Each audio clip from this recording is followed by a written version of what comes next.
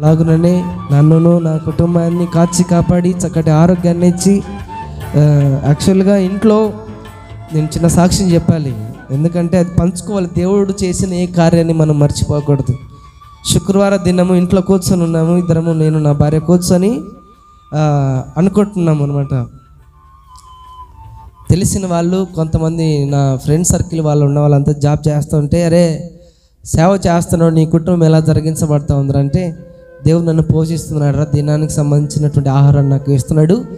చాలని చెప్తూ వచ్చాను. అదే రీతిగానే శుక్రవారం సాయంత్రంన నా భార్య నాతో అంటుంది ఇంట్లో నువ్వు పనికి వెళ్తుంటేనన్నా ఇంట్లో సమృద్ధిగా డబ్బులు ఉండేటివి ఇంట్లో కూడా ఏ కొదవలు లేకుండా ఉండేటివి ఇప్పుడు దేవుని మీద భారం పెట్టి పరిచయం చేస్తున్నాము.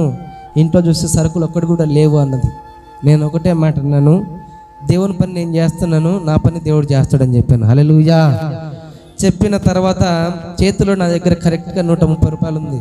పెట్రోల్ వేయించుకోవడానికి నూరు రూపాయలు ముప్పై రూపాయలు దేనికైనా ఉంటాయని పెట్టుకున్నాను. దేన్ని మర్చిపోకూడదు ఖచ్చితంగా చెప్పాలి అది. ఎందుకంటే దేవుడు చేసే ఏ మేలులను మర్చిపోకూడదు అది. కృతజ్ఞతాపూర్వకంగా విన్నపములు చెల్లించినప్పుడు దేవుడు సమాధానాన్ని ఇస్తాడంతే. హలలుయా ఈ శుక్రవారం సాయంత్రం ఎగ్జాక్ట్గా ప్రార్థన అయిపోయిన తర్వాత ఇంటికి వెళ్ళాను. ఇంటికి వెళ్ళిన తర్వాత నా భార్య నాతో అన్నప్పుడు ఇంట్లో సరుకులు ఏం లేవు ఎలా ఏంటి పరిస్థితి అంటే దేవుడు ఇస్తలే నువ్వేం దాని గురించి ఆలోచన చేయమాకు. అన్నప్పుడు నేను అన్నాను అనమాట ఏం కాదు రేపు సాయంత్రం లోపల దేవుడు ఇస్తాడు అని చెప్పిన తర్వాత ఇంట్లో సరుకులు ఏమేమి లేవో చెప్పు అన్నాను. చెప్పిన తర్వాత ఇంట్లో సరుకులన్నీ చెప్పింది అనమాట ఇంట్లో సరుకులన్నీ చెప్పింది. ఎప్పుడు రాశాను ఇవి అంటే శుక్రవారం సాయంత్రం ఎనిమిది గంటల పైన రాశాను ఇంటికి వెళ్ళిన తర్వాత రాసుకున్నాను. రాసుకున్నాను.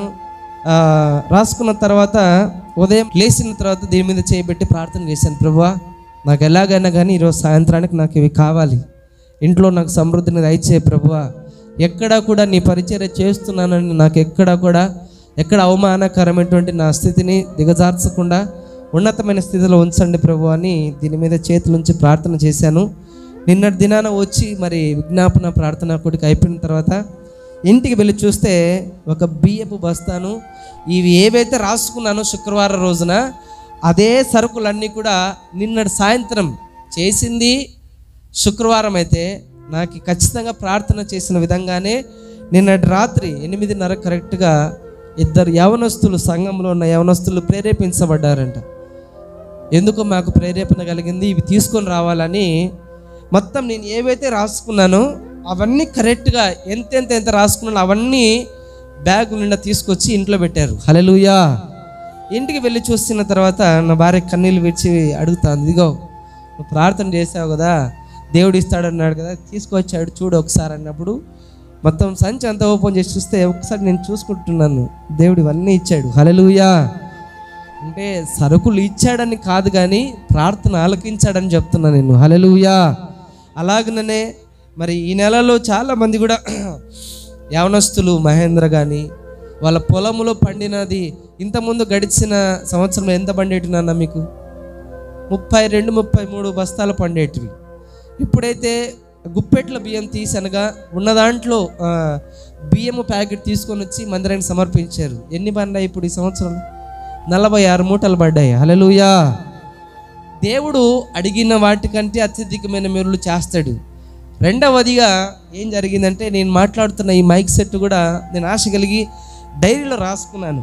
ఉదయంలో స్తోత్ర ప్రార్థన ప్రభు నాకు ఎలాగని ఈ సంవత్సరం నాకు అది కావాలి నేను అన్నాను అది కూడా అదే వారంలో దేవుడు మరుసటి రోజే పిలిపించి ఒక యవనస్తుడు ప్రేరేపించబడి దేవుడు నాకు ఎందుకో నాకు ఇది ఇవ్వాలంటున్నాడని ఈ మైక్ సెట్ని ఇవ్వడం అనేది చాలా ఇవన్నీ కూడా ఎందుకు మీతో నేను చెప్తున్నాను సాక్ష్యపూర్వకంగా అంటే ఈ సంవత్సర వాగ్దానము మన జీవితంలో నెరవేర్చబడ్డానికి కొన్ని సూచనలు ఇవన్నీ కూడా. హలెలుయా మనము సంవత్సరానికి ఒక వాగ్దానం అంటే సంవత్సరానికి ఒక కోరిక కాదు మనం నెరవేర్చుకోవాల్సింది.